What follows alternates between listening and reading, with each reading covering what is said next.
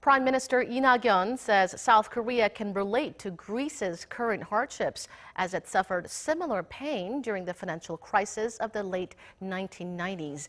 During a business forum in Greece on Monday, Prime Minister Lee said he was confident Greece will soon recover from its debt crisis. Since 2010, Greece has received three bailouts as the country was on the brink of collapse. The Greek Prime Minister showed great interest on how South Korea recovered from the 1997 financial crisis in less than four years.